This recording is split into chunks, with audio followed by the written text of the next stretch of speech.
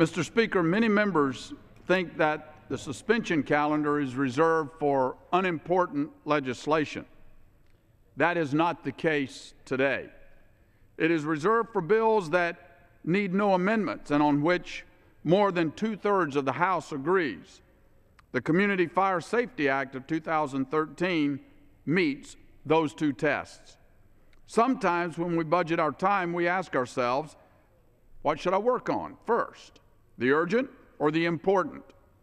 H.R. 3588 is both urgent and important.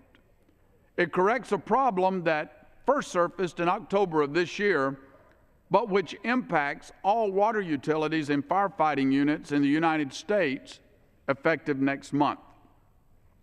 Water utilities have made it clear that they have two choices come January 4th fail to comply with federal law or leave gaps in critical fire hydrant service.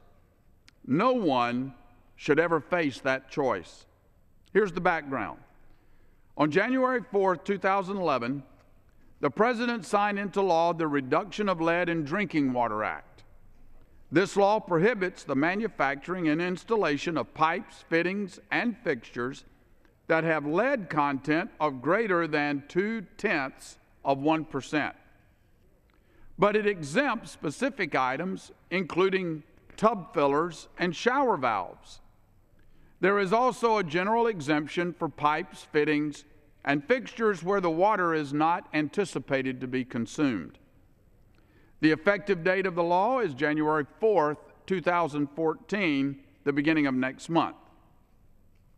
Now, I'm told that when Congress wrote this law in 2010 and the President signed it in 2011, the issue of fire hydrants never entered the conversation nor did the EPA suggest that fire hydrants were covered, at least not until October of this year, 10 short weeks before the law takes effect. On October 22nd, the EPA announced that because fire hydrants are occasionally, but rarely, used in the stream of human water consumption, they are not exempt under the Act. This means any hydrant manufactured or installed 33 days from now must have a lead content that meets the statutory standard. The EPA's conclusion was based on a technical reading of the statute, and because the rules announcement takes effect in early January, the solution is this brief but important legislation. The worry for water utilities and firefighters is that hydrants can break without warning, often as a result of vehicular accidents. Winter is a busy time for replacing hydrants, due in part to freezing road conditions. But neither water utilities nor firefighters can tolerate hydrants that are not certified to meet strict performance standards and parameters. Hydrants must never get stuck closed and should never leak. Why do hydrants contain tiny amounts of lead in the brass alloys in their valves and other parts? Because that alloy gives a cleaner fit that doesn't leak and doesn't get stuck. Confidence that a hydrant meets this standard is crucial. Mr. Speaker, even though a couple of manufacturers claim to have developed hydrants that could meet today's lead-free standard, none of them claims independent verification of the lead-free standard, much less proof that the extreme low-lead hydrant will work for fire safety. If such hydrants are developed and later certified, communities will certainly always be free to choose them. But in the meantime, the 2010 law is unforgiving. It does not allow exemptions for even the least frequent and briefest exposures to water that may pass through a hydrant.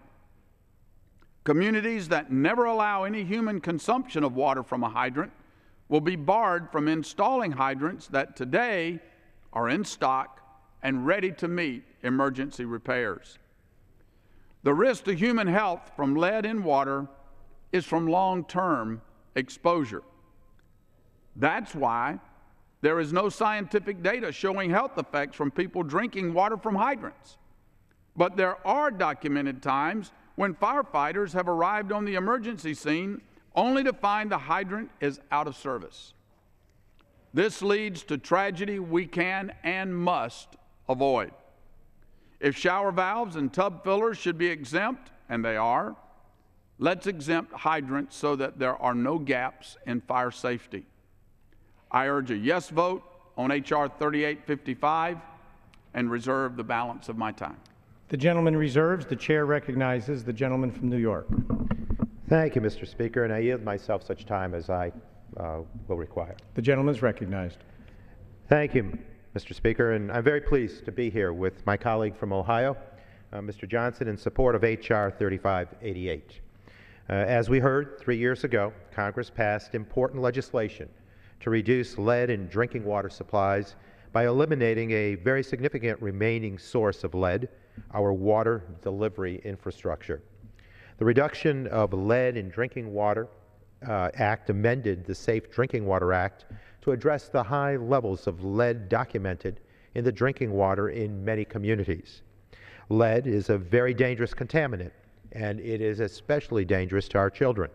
It is retained in their bodies and leads to a host of chronic problems.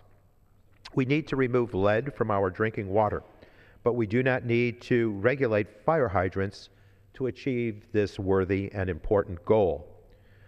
Fire hydrants are rarely used to provide drinking water, and those rare occasions are during emergencies, for instance, the break of a water main.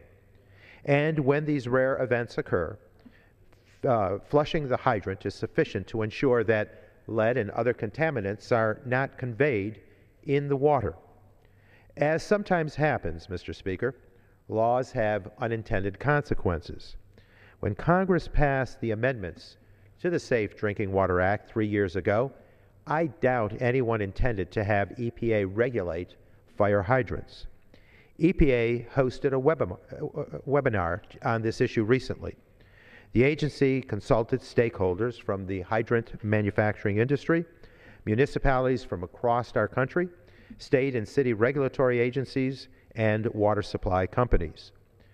These sources provided the agency with information to demonstrate that regulating hydrants would be expensive to implement and it would deliver virtually no additional public health benefits. Closer to home, I heard from two municipalities in my district, Latham and Colonie, both in Albany County. Their local leaders were very concerned about the expense of replacing their inventory of fire hydrants and about problems that could arise if they were unable to service and replace hydrants in a timely manner.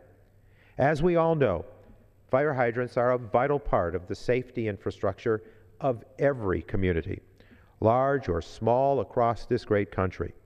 I am told the average cost is as high as $2,000 per hydrant, if not more. Most communities keep a reserve inventory so that hydrants can be replaced as needed. Without this fix, communities across the country would be spending millions to replace inventories of working hydrants. Not only would communities have to replace their inventory of hydrants, but there is a real question about the availability of lead free alternatives. The supply of lead free hydrants is still small, and some newer designs have yet to be tested and certified fully. Well, we certainly do not need to impose unnecessary costs on our communities across this country. We can fix this problem, and we are moving forward with a sound and effective solution today. H.R.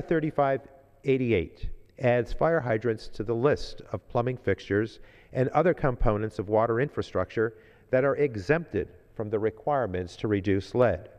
H.R. 3588 is a simple, bipartisan bill that provides a straightforward correction to the law. It will save our communities money and time, two very important commodities. In addition, the bill contains a provision requiring the EPA administrator to consult with the Drinking Water Advisory Council on options for reducing lead in our drinking water in a cost effective manner.